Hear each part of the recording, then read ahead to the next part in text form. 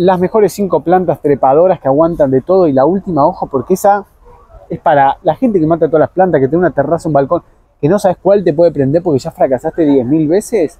Bueno, la última vas a ver, va muy bien. La primera es esta, el famoso jazmín de leche que tiene estas hojas así, ¿ven?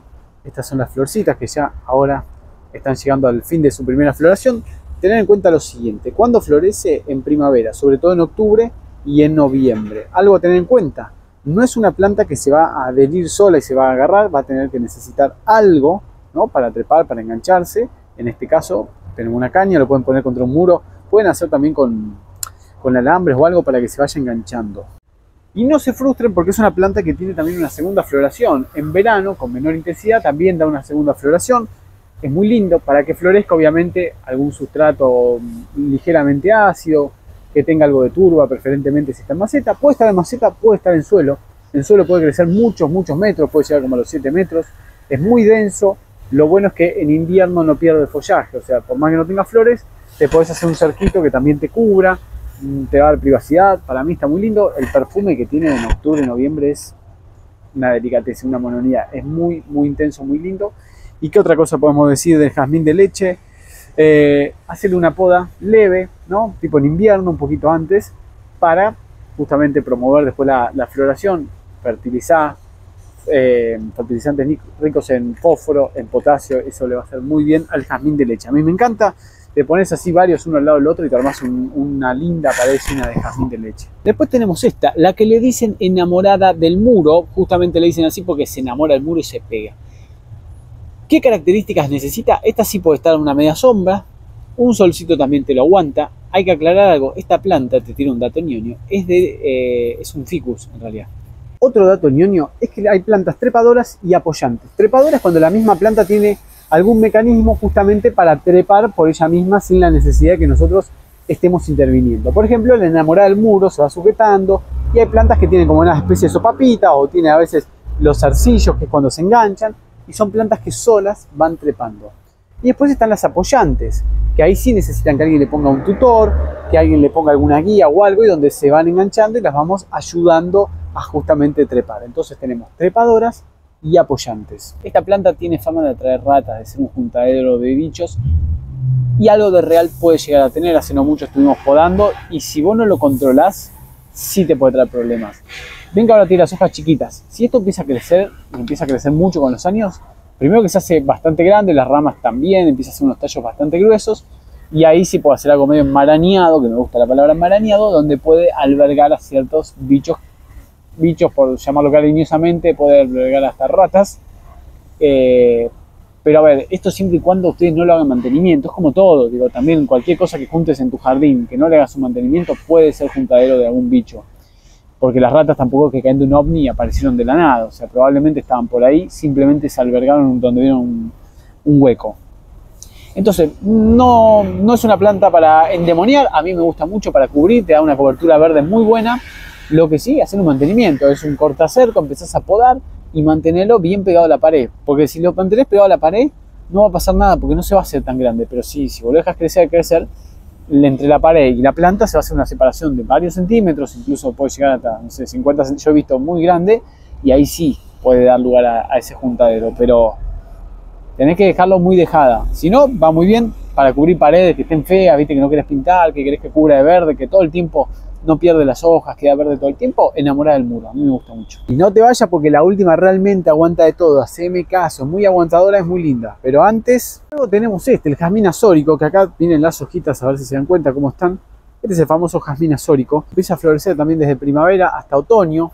Eh, si bien no da una floración tan fuerte, digamos, más cerca del otoño, pero te mantiene ahí con algunas florcitas. Mirá, mirá esto, mirá, mirá, mirá, seguime chango, seguime que lo que acabo de descubrir, ¿dónde está mi mano?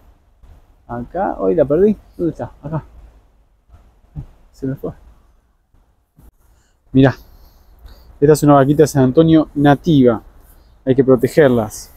Además que son grandes controladoras de bichos. O sea, estos se comen los pulgones, son depredadoras, son como los leones de la selva. Bueno, son muy, muy voraces. Si vos tenés de estas, es, es un buen indicio de que se van a estar comiendo, controlando los pulgones. A mí me encantan, así que no hacen nada Siempre hay que cuidarlas mucho a las vaquitas de San Antonio por plantas que las atraigan. Me encantó. Ahora voy a cerrar los ojos y pedir tres deseos. Como diría Cris eh, Morena, paz en el mundo. Volviendo con el tema del jazmín azórico que estamos hablando, lo otro a tener en cuenta del jazmín este es que, bueno, da una floración, también muy perfumada, muy linda, muy rica. También necesita un soporte fuerte porque también va creciendo bastante para que se pueda enganchar y que lo podamos ir haciendo que se haga una planta trepadora. Eh, ¿Qué más podemos decir? ¿Suelo ácido? Sí, como la mayoría de estas plantas. Un suelo levemente ácido, puede estar en maceta, puede estar en el suelo. Con toda planta que, quiere que necesitamos floración, potasio y fósforo, pongamos algunos, obviamente un fertilizante completo, pero sobre todo en fósforo y potasio va a hacer que tenga una floración muy muy extensa, muy perfumada y muy abundante. Después de la floración se le puede hacer una poda. A ver, no es lo ideal, pero si alguna vez se te fue mucho de mambo y la querés podarla, haces una poda bien abajo y te puedo asegurar que va a resurgir y con más fuerza. No tenga miedo a veces de podar, más o menos en otoño cuando está terminando la floración, le hacen una buena poda si quisieran o una poda más leve y va a resurgir con más fuerza. Lo otro a tener en cuenta de esta planta es que puede estar al sol o puede estar en una media sombra. Siempre en general, cuando está en media sombra quizás florece más. Por eso ahora está acá en el vivero, están en un invernadero, están cubiertas acá en Easy, con lo cual quizás no tiene la floración explosiva, pero eso es mejor, porque después vos te lo llevas y se va a adaptar más fácil a tu casa y que florezca mejor ahí. Esta es una de mis favoritas también, que es la madre selva. Mira lo que es. Mira que la florcita hermosa que tiene. Cuando florece en primavera y verano. Esta diferencia de las otras sí le gustan los lugares con más humedad, sí le gusta la humedad ambiente, le gusta que tenga cierta humedad en el ambiente, así que no descuides el riego tampoco. Va al sol, pero si va al sol no te olvides de regar. Puede estar también en una media sombra leve, pero que tenga luminosidad para que florezca, porque si no simplemente te va a quedar con hojas.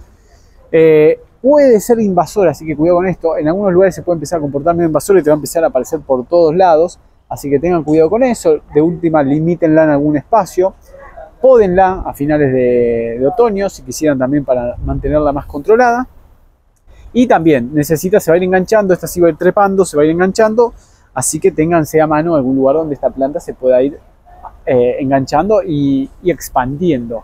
Y después tiene una particularidad que esta planta estaba buscando ver si veía, tiene hojas diferentes cuando es joven que cuando es más grande. A veces las hojas nacen con una formita, como esta que tenemos acá, y luego terminan teniendo la forma definitiva. Lo mismo las flores también cambian de color desde un blanco hacia un amarillento y es muy lindo la verdad con el perfume, los cambios de color, todo es una planta que a mí me gusta mucho la madre selva y la recomiendo. Y por último y no menos importante la que yo les decía, la más aguantadora de todas, que es el jazmín del cielo, que es una planta muy muy aguantadora. Les juro, la he puesto en terraza, piso 14, resiste. Resiste que no la riegues mucho, que la riegues de más. Eso sí, trata de asegurar un buen drenaje, ¿no? Pero aguanta el viento, aguanta viento fuerte. Piensa en un piso 14, piso 16 en la ciudad, el viento que había y lo aguanta. Aguanta el sol, aguanta una media sombra. En una media sombra, obviamente, tanto sol, tantas flores no te va a dar, pero lo aguanta también. Es muy, muy aguantadora. Es la Terminator de los jazmines. ¿Cuál? Este, el jazmín del cielo, esta que tengo acá. Esta es la típica jazmín del cielo, pero además hay también así de color blanco, que a mí me gusta mucho esta combinación. Miren, celeste blanco, celeste blanco, el cielo arriba. Dígame si en Argentina no tenemos los cielos más hermosos del mundo. Perdón que lo diga, pero son muy, muy lindos los cielos que tenemos. Mirá lo que es, acá aparte estamos justo cumpliendo un año de que somos campeones del mundo. Celeste blanco, te llevan las dos, el cielo, te ves el partido ahí, la final contra Francia, una cosa hermosa, muy lindo. Me gusta mucho. También es una planta que necesita alguna sujeción para ir enganchándose, pero aguanta absolutamente de todo. Jazmín del cielo, una de las más batalleras de los jamines más, más, más batalleros. Si te gustó el video, dale like, seguime, mi nombre es Felipe y todo esto lo conseguís en Easy. ¿Qué cosas? Las plantas, los sustratos, las macetas, absolutamente todo lo tenés acá en Easy. Y déjame algún comentario con alguna otra planta que te parezca trepadora, que esté buena, que no haya mencionado. Nos vemos la próxima, chango.